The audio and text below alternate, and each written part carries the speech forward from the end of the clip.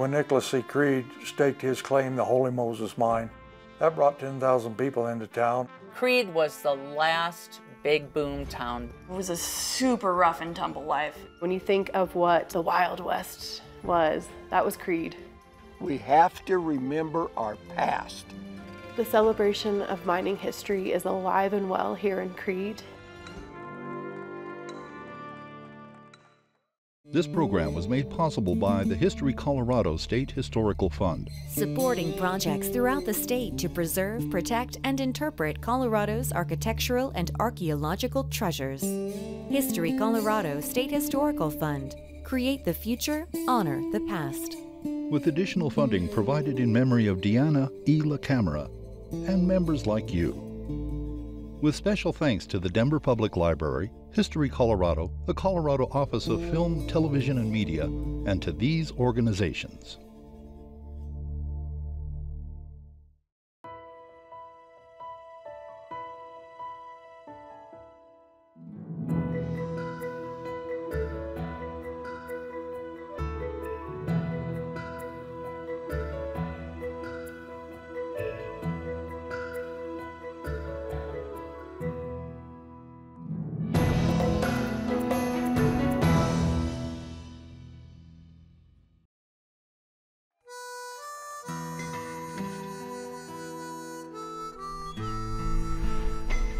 Mining has been the core of Colorado. If you can't grow it, you got to mine it. It's really what put Colorado on the map. Creede fits into the mining past of Colorado because we were the last silver boom can. The legacy of mining is generational and it goes from 1892 to the present. We hang on to the, the heritage of it because, of course, it's what we did. It's why our bones ache today and our feet hurt. The celebration of mining history is alive and well here in Creede with our Days of 92 event on the 4th of July. The Colorado State Mining Championships and the Days of 92 are a commemoration of hard rock mining in Colorado and throughout the West. The Days of 92 mining competition, that's huge to just remember where we came from. It's fascinating to see all the different styles of mining and the techniques that are used, all the way from the primitive hand steeling to the air jackhammers. I think it's incredibly important to keep preserving that and trying to not lose sight of what we were founded on.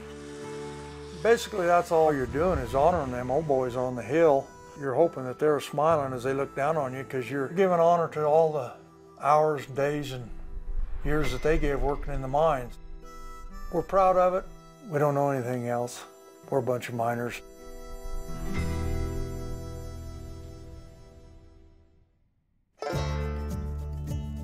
The Creede area was originally populated by the Ute tribe they were not friendly to the settlers at the time. And so Wagon Wheel Gap, which is the entrance into Creede, is called Wagon Wheel Gap because there is legend that the Ute people would hang out up on the top of the cliffs and then shoot down on settlers. They would hang the wagon wheels up along the cliffs as a warning to other people who were coming through the area. In 1871, the Brunot Treaty was signed with the Ute to be able to allow the white settlers to come through, and that was when prospecting was able to begin in earnest. When Ulysses S. Grant was the president, to encourage the development of the America West, he said the federal government would buy up all the silver that was mined. And so silver mining took off. Nicholas C. Creede, his real name was William Harvey, and he joined the Army back in about the 1870s. Was up in North South Dakota fighting Indians. While he was there, the love of his life married his brother, and that broke his heart. So he never went home again and changed his name to Nicholas C. Creede. After Creede finished with the Army, he made it down to Pueblo, Bent's Fort, which is where the majority of the prospectors and people came. He went up on Monarch Pass and made a pretty good stake there. And then he wandered over to Bonanza, but wasn't satisfied, so he went into Del Norte. Del Norte's one of the oldest towns down the San Luis Valley. And he was there two or three years every summer, wandering up the Rio Grande prospecting. The story goes he was prospecting up the East Willow Canyon and struck a silver vein and said, Holy Moses, I found it! When Nicholas C. Creede staked his claim in 1890, then everybody started coming to Creede. What's really unique about this boomtown is that it happened super quick. A lot of the boomtowns in Colorado had a little bit more of a slow build. Here, it was because of the compounding of the Sherman Silver Purchase Act and the, when the railroad was completed to town, and then finding such rich veins in this area that in December of 1891, it just absolutely went nuts. There was like 200 people coming here a day in the dead of winter. As was common with boom towns, word of Nicholas Creede's discovery traveled quickly. Prospectors hoping to stake their own claims flocked to the area. One such prospector was Theodore Reininger. Theodore Reininger came into Del Norte one day, happened to walk into a butcher shop. Now, when he walked into this butcher shop, there was two butchers, Eric von Budenbrock and Ralph Granger. Now, evidently, he struck up a conversation and asked for a grub stake. They discussed it briefly and grub staked Theodore with $125. Now, that was basically about a year's salary in 1891. Theodore had come on up to Creede and was here for the better part of a year, not having much luck. And he was down to his last $10. He decided it's time to quit. He went into one of the saloons in town, sat down with friends of his for breakfast. He told them, he said, you know what, I'm done with Creede. This is my last day. I'm down to my last $10. I'm gonna get me a train ticket and I'm gonna head back to Denver. He said, I'm going to go up one more time. And jokingly, as he walked out the door, he looked at everybody and he says, see y'all later. It's my last chance to strike it rich. Theodore Reininger come up from town prospecting. He tied his burro up. At some point during the day, his burro pulled loose from the willows. He knew that burro meant money for him. So he had to find that burro before he left on that train that same day. He followed the burro higher and higher up the hill for a total of over 1,500 feet of elevation change before he caught the burro. Now, whether it was anger, curiosity, or frustration, we don't know. Theodore walked over, he sat down by the rock where the burro was standing and started hammering on that rock. And that's where he broke open the amethyst vein that reached the surface. He loaded the burro up, went back to town, and he went in to see Nicholas Creede. Well, Nicholas assayed his material, and it turned out to be high silver content galena, or lead. Nicholas came up and he helped Theodore stake the last chance mine. Nicholas staked the claim right below it, the amethyst mine.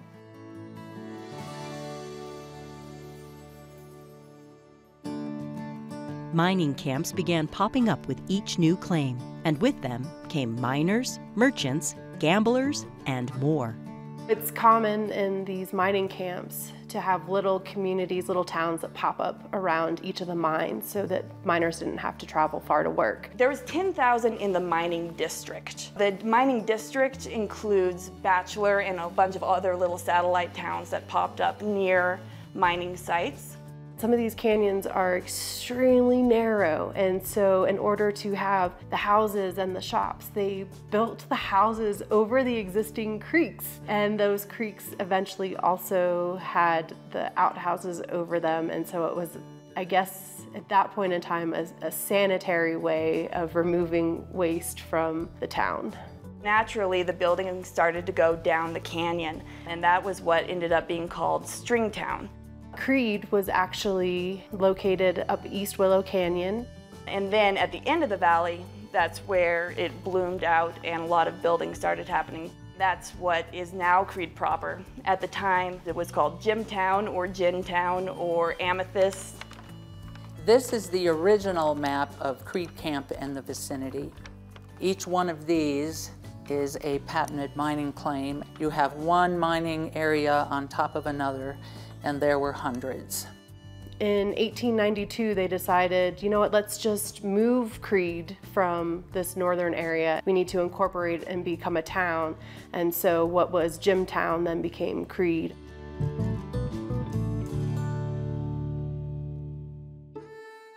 When it boomed, so many people came here because they knew the money would be here with the mines, with the merchants, with uh, gamblers, with prostitutes, with everybody. So anybody that wanted to get in on it didn't have to be a miner. He just had to get here and he could get in on the money. When you think of what the Wild West was, that was Creede. Well, life was tough in Creede as it was in all the little mining camps around the state. 10,000 people here, they all come here to fleece everybody that they can. People credit it as being the wildest of all the boom towns. We had a lot of colorful characters. Bat Masterson, he used to hang out with Wyatt Earp and was very well known, kind of a, a crooked cop kind of type.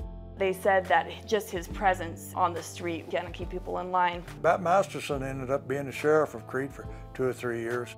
Poker Alice was a, a, notorious gambler and was known for having a cigar hanging out of her mouth all the time. Soapy Smith, con man, was big in Denver, but he came to Creede. People always carried all their money in those days with them in a wallet inside their coats, and people would come to town, and Soapy had his men out there giving them a free ticket to go get a haircut. Of course, he owned the barbers too. Well, the barbers would be cutting their hair, and then he could feel and tell if their wallets were pretty thick, so that would let them know that this guy's got quite a bit of money. Well, he'd cut a V in the back of their hair. That way, when they went down the street, Soapy Smith's con man could see, ah, oh, here's a guy that's got a thick wallet. We'll get him off in a shell game or a poker game or something to fleece him out of his money. Then, of course, one of the most famous ones is Bob Ford. He was the gentleman who killed Jesse James. And he actually came to Creede fairly early on in about February, but he got kicked out in April because he and one of his buddies were going around and shooting street lights out. He came back on the 30th of May, started a saloon here with the dance hall girls. We had a major fire. There was a Y junction, and there was a building right at the Y where the fire started. And because everything was right next to each other, it all burned to the south. But business didn't stop. We had tents go up very next day, even when the ashes were still smoldering. Bob Ford was a notorious figure even at that time. He was very well known. People didn't like the dude at all. Bob Ford ended up getting shot in his temporary saloon just about four or five days after that fire. He was killed by a gentleman named Ed O'Kelly. Some people say that it was a revenge for Bob Ford killing Jesse James. Some people just say that the two of them had beef. Nobody really knows. They say he was shot through the jugular and almost took off his entire head. Almost the whole town came to just be photographed in front of his saloon after Bob Ford was shot and killed. As tough as life could be in town, things weren't any easier down inside the mines. There's a saying here it's day all day in the daytime and there is no night in Creede. Because miners were working 12 hour shifts, so they would go in and it was daylight, and they would come out and it was daylight. It was a hard life and a tough life, and the immigrants that were coming in is looking for anything to make a living. It was a super rough and tumble life. These were incredibly hardy folks to be able to survive being in the Creede winter and working in the mines. Mining's hard work. You spend half your day, 12 hours underground in the dark. It's dangerous. There's dynamite and dust. Everything you had to do by hand from skinning to cutting down trees. When you would go in and work on your claim, you have to create the adit, which is the opening to your mine, and then you've got to get that all out of there. Dynamite is a tool, and then once they get their opening and then they start making their way in, you're using a pickaxe and dynamite. And eventually you have to create a stope, and so you have to have a lot of timber because you have to support that area that you're going in. And then they'd have to muck it out. That's a mining term for shoveling. There was just this attitude of we can do anything. We could just go to a mountain and say this this area is mine and then pick up a rock and this is mine and then next thing you know you're the, the richest guy in the state. Nicholas C. Creede found a single boulder up at the Amethyst mine that weighed about a ton and, and assayed about 2,000 ounces of silver per ton. That's pay dirt. He was getting according to the books, about a thousand bucks a day put in his bank account in Pueblo. Folks were prosperous during the boom years, but changes coming from Washington would make Creede the last boom town in Colorado. When Grover Cleveland became our president, he put us on the gold standard, and that caused the price of silver to just plummet. Silver dropped from about a buck 14 an ounce down to around 60 some cents an ounce. There was a mass exodus from most silver mining towns because it was an incredibly hard lifestyle, so it had to be worth it. Creede, just like the rest of them, dropped in population. Everybody moved on. They had to find somewhere else to go make a living. This area went from about 10,000 to about 400. I think the last passenger train was in the early 1900s that left Creede. That was a sad day, I think. Many of the little towns around the state basically folded clear up. The reason Creede hung on is because we had so much silver. Anyone that has been to Creede or knows anyone from Creede knows that Creede very much has a can do, will do attitude. And the folks in Creede were determined and they didn't want to leave. This is a beautiful canyon. It was still rich enough that it was worth it to continue mining it, but it just was not on the scale that it had been. During World War II, when our nation needed lead for ammo, Creede was able to step up to that challenge, started mining the lead out of the mines instead of the silver. In the 60s, mining did come back. They found an ore vein up here at the Commodores and then also in the Bulldog mine, and that kept a lot of people working for a lot of time. When Homestake came in here in the 1960s, they hit the Bulldog mine up here and they had up to 2,000 ounce silver too. So we had another boom. And Creede went crazy for about 20 years and we shipped about $33 million worth of silver down the tracks every year with 130 employees from the Bulldog mine. Hunt Brothers tried to buy all the silver in the country and killed the price of silver and it dropped from about $49 an ounce in a three-year period of time down to about $3 an ounce. And one day everybody went to work at the Bulldog mine and the bosses said, get your diggers and go find a job. This mine's closed. And it's been closed ever since. Ultimately, mining ceased in the Creede area in 1985.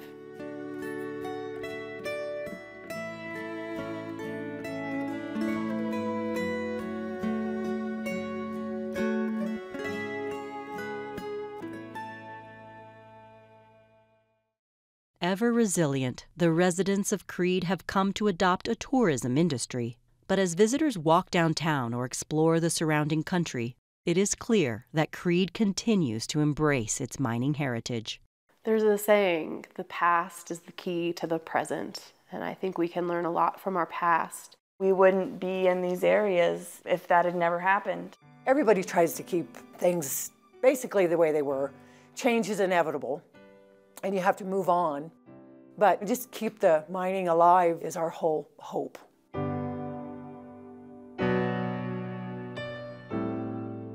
The Creede Underground Mining Museum is a place that has preserved the mining history of this area. This space has meant a lot for everyone here. When the mining shut down in 1985, that's when they decided to build this, so the mining heritage never got lost. There was three paid miners. It took them 18 months to do the blasting. The volunteers that came, they helped move the muck out, store up the walls, and they just did it so they could say that they were part of it. That's what this community does. Folks that love history, especially the American Wild West history. When you drive the Bachelor Loop Tour, which is a self-guided auto tour that drives through the historic mining district, gives folks an appreciation of what was. Being able to drive up the canyon and see those mines is one of the most incredible views. Along the Bachelor Loop, visitors even had the opportunity to experience what life was like underground for miners during the boom years and hear a unique story of preservation. After grubstaking Theodore Reininger, Ralph Granger eventually became the sole owner of the Last Chance mine. The claim would stay in his family until 1998 when Jack Morris came to town. My grandfather was a blaster in the coal mine. And I remember hearing the stories. I thought, you know what, this that's not bad life. I, you know, I, I think I'd like to, you know, play a part of that. Well, I never quite got into mining, but I got involved with mines. And eventually, my trucking company and my second business, photography, brought me here. I came out here the summer of 98 to take historical photographs. As I got here, I contacted the last Granger, Nancy Granger Shallot. Well, I went ahead and hiked up, photographed it, went back down, called Nancy. I said, Nancy, I'm off the property. She said, How'd you like it? I said, I absolutely loved it. She said, You want to buy it? I said, Ma'am, right now I couldn't afford to buy it. And she says, Well, let me ask you a question. What would you do with it if you could afford to buy it? I said, I'd love to see it preserved, restored, open to the public. This is the kind of place that should be enjoyed by everybody. And I said, and the future generations need to understand the mining and what people went through. At the end of that conversation, she said, Jack, I want to talk this over with my son tonight. Call me back tomorrow. Well, I called her back the next day and she said, David and I like your ideas and we've decided we want you to have the mine. She said, we're going to sell it to you for the assessed tax value. She said $2,900. And I said, ma'am, I don't want to offend you, but why would you do that? That makes no sense. She said, because your answer was right and the other guy was wrong. She said, well, three years ago, there was a guy tried to buy it from me and I turned him down because I didn't like his answer. He said it had a million dollar view and he wanted to bulldoze it and build a house. Well, I bought the mine. I went ahead and started restoration that same summer. I've learned what it was like for the miners to live here because I lived here with nothing more than a bed and a cook stove from the 1890s. I've restored four other buildings on this level so people can come up here and experience what it's like to live at the mine, similar to what the miners did. I think it's critical that we do this. This and others had to be saved. Otherwise, our future generations have no concept of what mining's all about. We have to remember our past. Here, you see firsthand by going inside these tunnels and you look up hundreds of feet and know these men stood up there with nothing in their hands but a pick or a shovel and a candle to see by. My goal is to show people what happened here. Creede has a long history of mining. It was established on mining, it thrived on mining, and even though it's a tourist town now, it still survives on mining. Many of these mines are gone. Once they're gone, they're gone forever. You can't recover these. I hope I'm doing my part to preserve the entire state's mining history.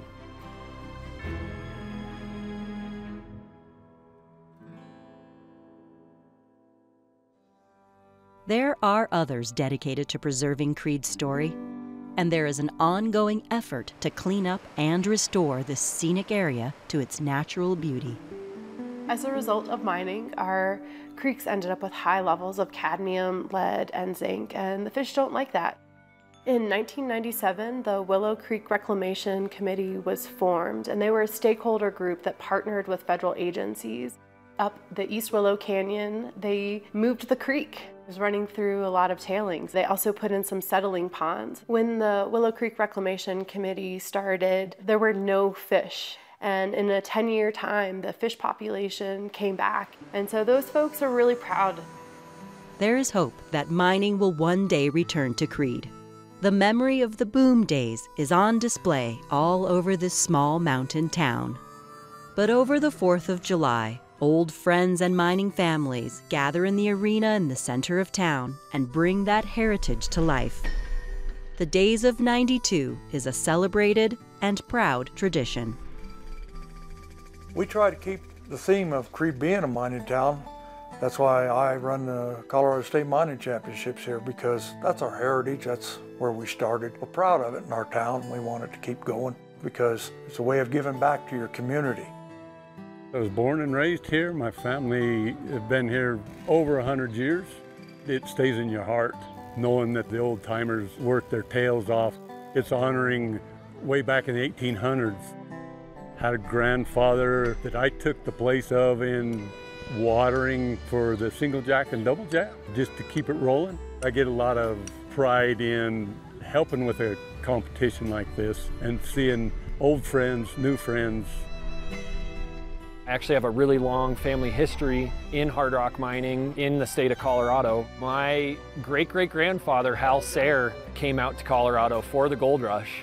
Up until my father, I've got five generations of my forefathers working underground.